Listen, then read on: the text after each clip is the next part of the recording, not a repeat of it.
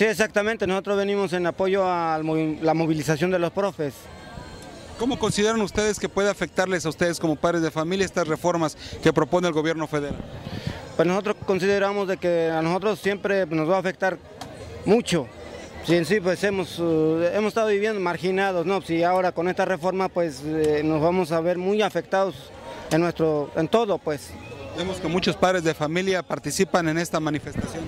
Sí, exactamente, porque estamos inconformes también, porque también todas las reformas que, están haciendo es general, es estructural, ¿no? Así, es parte del magisterio que les afecta, pero también a nosotros los campesinos nos afecta bastante porque las leyes que reforman van contra nosotros también, ¿no? ¿Qué es lo que opinan los padres de familia que vienen hoy con usted?